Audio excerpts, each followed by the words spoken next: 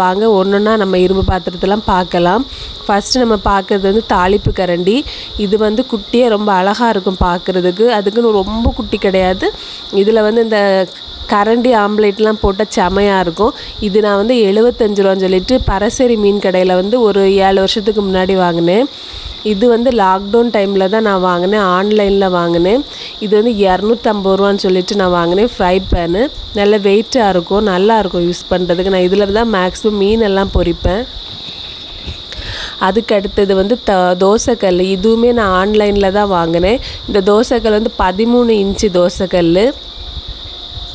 கொஞ்சம் பெரிய தோசை வந்து வரும். நல்லா முறுமுறுன்னு வரும். ஏன்னா இது கல் கொஞ்சம் பெரிய கல் வெயிட் உள்ளது. பாருங்கள் சூப்பராக இருக்குல்ல. கரண்டியெல்லாம் வச்சு நம்ம நல்லாயிருக்கும் இந்த தோசைக்கல் யூஸ் பண்ணுறதுக்கு அடுத்து நம்ம பார்க்க போகிறது வந்து நூடுல்ஸ் ஃப்ரை பண்ண நூடுல்ஸ் பண்ணக்கூடிய அந்த ஃப்ரை பேன் மாதிரி.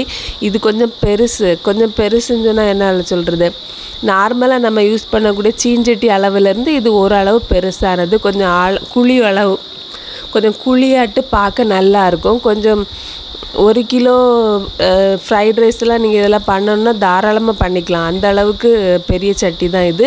இது எனக்கு வாங்க ரொம்ப நாள் வாங்கணும்னு ஆசை. நான் இதை வந்து இரநூற்றி அறுபது ரூபான்னு சொல்லிட்டு நாகர்கோவில் கான்ஸ்டீல்னு ஒரு கடை இருக்குல்ல அங்கேருந்து நான் வாங்கினேன். அதுக்கப்புறம் பாருங்கள் ஒரே மாதிரி தான் இருக்கும் ஆனால் கொஞ்சம் வித்தியாசம் இருக்கும். ரெண்டு தவா வந்து இது வந்து கொஞ்சம் ரொம்ப குழியாக இருக்காது மீடியம் சைஸ் குழியாக இருக்குது இந்த கிட்டத்தட்ட ஆப்பச்சட்டி மாதிரி. ரெண்டெண்ணம். இந்த இது வந்து ஒன்று வந்து நூற்றி எழுபத்தஞ்சு ரூபா நூற்றி எழுபத்தஞ்சு ரூபா வச்சு ரெண்டெண்ணம் நான் வாங்கினேன். நான் ஏதாவது நான் எமர்ஜென்சிக்கு ஏதாவது பண்ணுறதுக்கு சின்ன சின்ன ஐட்டங்கள் பண்ணுறதுக்கு நல்லாயிருக்கும் நான் மேக்ஸிமம் இதை யூஸ் பண்ணுவேன். டெய்லி யூஸ் பண்ணுவேன் இதை. இவ்வளோ தாங்க என்கிட்ட உள்ள இரும்பு பாத்திரங்கள். இந்த வீடியோ பிடிச்சிருந்தா மறக்காமல் லைக் பண்ணுங்கள் கமெண்ட் பண்ணுங்கள் ஷேர் பண்ணுங்கள் எங்கள் சேனலை மறக்காமல் சப்ஸ்கிரைப் பண்ணுங்கள்